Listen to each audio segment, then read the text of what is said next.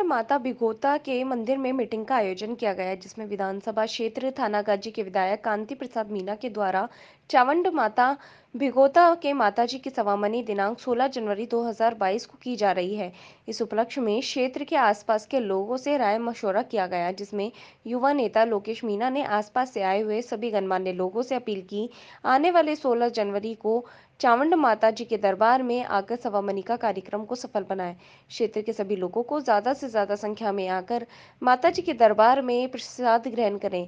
साथ में आए हुए थानागाजी नगर पालिका के चेयरमैन चौथवल सैनी ने कहा कि ये प्रोग्राम आप सभी लोगों का है और सारी व्यवस्थाएँ देख रेख करें।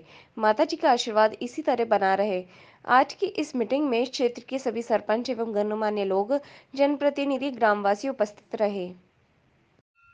सभी का मैं मेरी ग्राम पंचायत में स्वागत करता हूँ। ये जो प्रोग्राम अपने विधायक साहब ने रखा है सोलह तारीख का सभी, अपन सभी नज़दीक है, सबको पता है।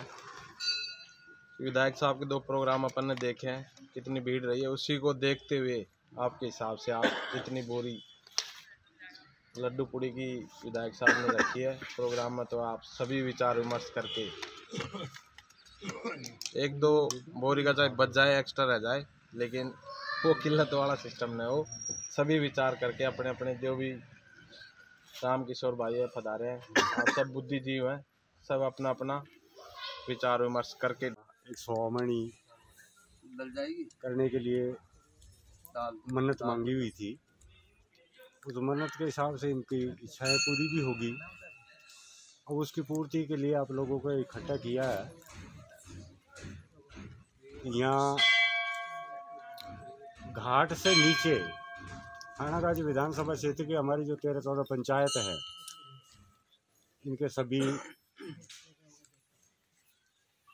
लोगों को यहाँ शामिल करना चाहते हैं इनका ऐसा विचार है। तो आप लोगों को इसलिए यह इकट्ठा किया है कि भी थोड़ा सा इनको एक आइडिया दो।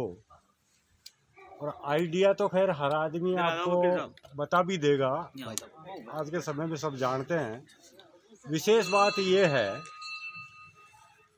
कि उसको हमको उस काज को जो है हमको खुद को समा